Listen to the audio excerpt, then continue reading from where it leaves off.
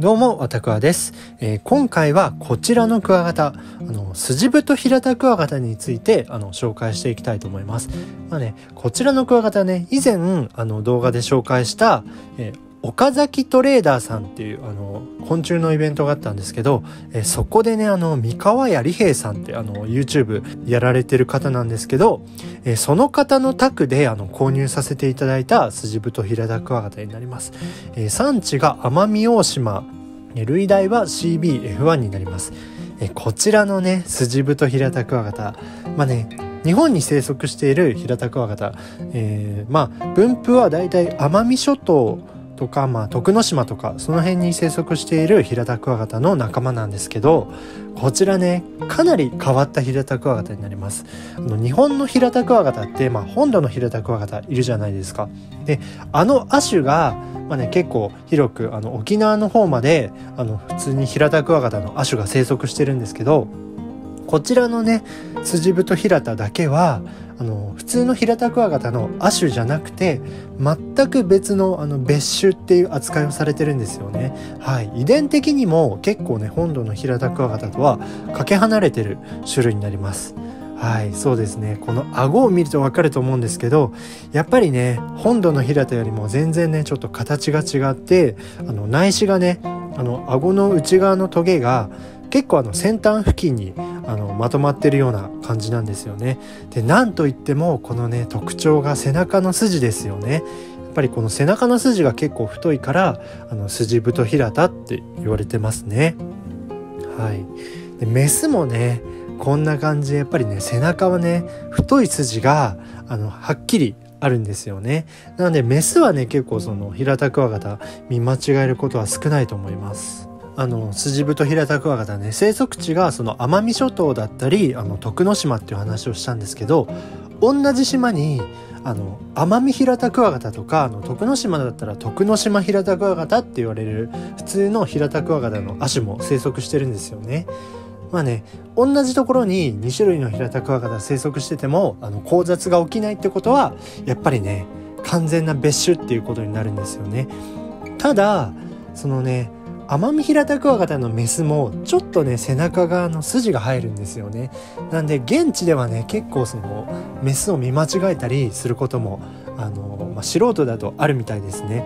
僕も実際にね奄美大島で採取したことがないんで多分ね行ってヒラタクワガタっぽいあのメスを見つけてもこれが本当に筋太なのか奄美平田なのかっていうのがパッと見区別がつかないんじゃないかなと思います。はい。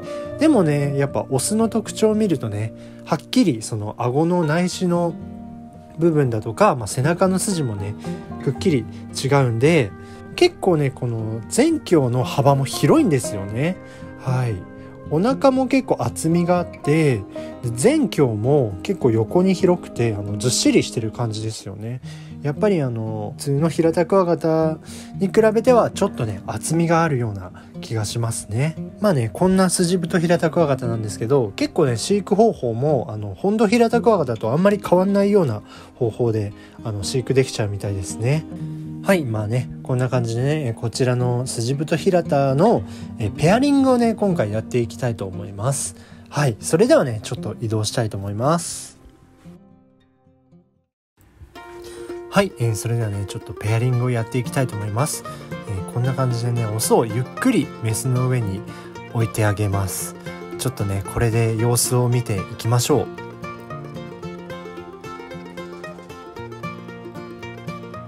おちょっとオスが反応し始めましたね。おあちょっと挟まれ挟まれそうだけど多分大丈夫です。おそらくこれもオスがメスを認識してますね。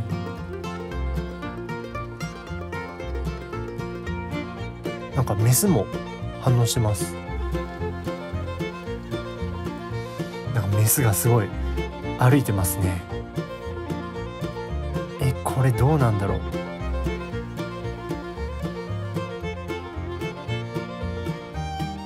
あ挟まれた。足挟まれた。あーちょっとこれはあーなんかどうなんあーでもあー大丈夫そうです。大丈夫そうです。あーメス逃げちゃいましたね。ちょっと仕切り直しましょう。はいそれじゃあねもう一回ちょっと挑戦していきたいと思います。やっぱりオスは反応してる感じしますね。あまた挟まれた。た挟まれてます。あでも話してますね。やっぱり平田クワガタの交尾ってちょっとペアハンドペアリングするのは難しい気がしますね。ちょっとね僕も初心者なんでね。あーやっぱりメスに逃げられちゃいましたね。で次はねちょっとゼリーをね使ってはいゼリーに気を取られてるところにあのやってみたいと思います。うん。だからダメですねちょっと。はいそれではねちょっとね結構ねあのハンドペアリング頑張ってみたんですけど、まあね、どうにもねうまくいきそうにないので、まあ、今回はねやっぱりあの同居ペアリングをしたいと思います。で同居ペアリングをするにあたってやっぱりね平田クワガタはメス殺しが結構怖いので、まあね、今回はちょっとやむを得ずあの顎縛りをしたいと思います。はい。まあね顎縛りっていうのはこのね顎でメスを挟めなくするためにこのね顎の自由を奪ってしまうっていう方法になるんですけどまあねメスが死んでしまうよりはまあマシですよね。はい。ということでねちょっとこの足をこのね結束バンドで、え固定していきたいと思います結束バンドで3つ使います。でまずはこんな感じでね輪っかをね2つ作ります。こんな感じですね。次にこの2つの輪っかに通してでここで輪っかを作ります。そうですね。こんな感じで。この状態で止めていきます。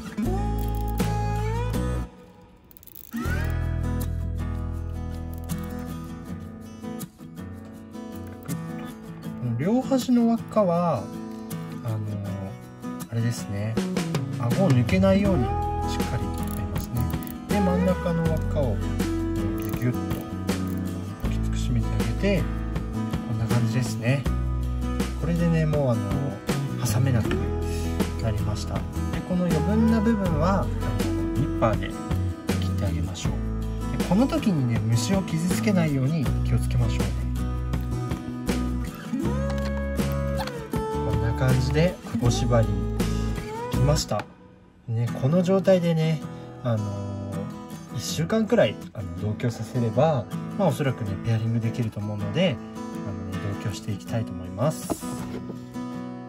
はいまあねこんな感じでね、えー、クリアスライダーにあのクリアスライダーで同居させていきたいと思います。こちらにねメスを入れてでオスも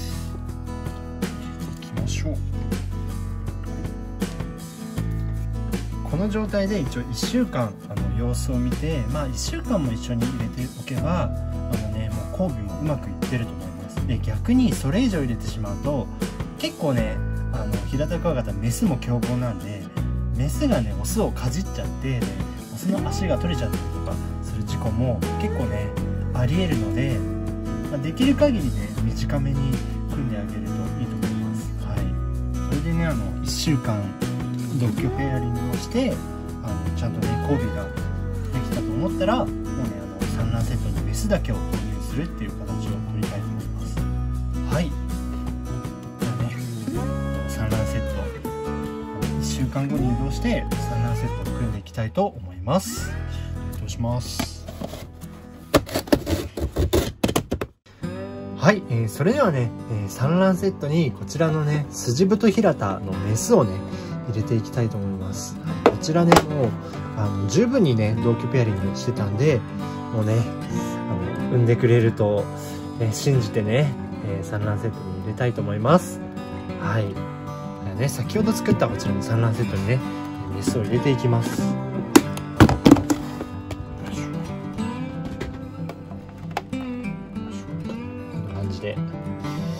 入れますね。はい。じゃあねここにねあの昆虫ゼリーも、え、入れていきましょう。はい。でねうちはね昆虫ゼリーあの KB ファームさんのあのプロゼリーを使ってます。まあね2個くらいちょっと入れましょうか。はい。じゃあねこんな感じであのスジブと平田クワガタの産卵セット、え組みました。はい。ちょっとねこれでねあの1ヶ月くらい経って、まあ、うまくいけば多分ねケースの側面とかねあの裏側に卵とかが確認できると思うのでまあねちょっとね無事増えてほしいですよね。やっぱりねあのスジブとヒラタクワガタってあの奄美大島とかそっちにしか生息しないね。本当にあのちょっと変わったあの固有のクワガタなんでやっぱりね個人的に結構大好きなんでねはい増えてほしいですね。はい。はい。じゃあね、今回以上で、えー、スジブとヒラタクワガタの紹介と、あの、ペアリングと産卵セットの動画になりました。えーまたね、あの、何かね、このスジブとヒラタクワガタについて、もっとね、飼育方法、こうした方がいいよっていうアドバイスだったりとか、まあね、あの、私の解説の中で、ちょっとね、そこ違うよっていうところがありましたら、あの、コメント欄にね、どんどんメントいただけると、本当にありがたいので、よろしくお願いします。えーご視聴ありがとうございました。また次の動画もよろしくお願いします。失礼します。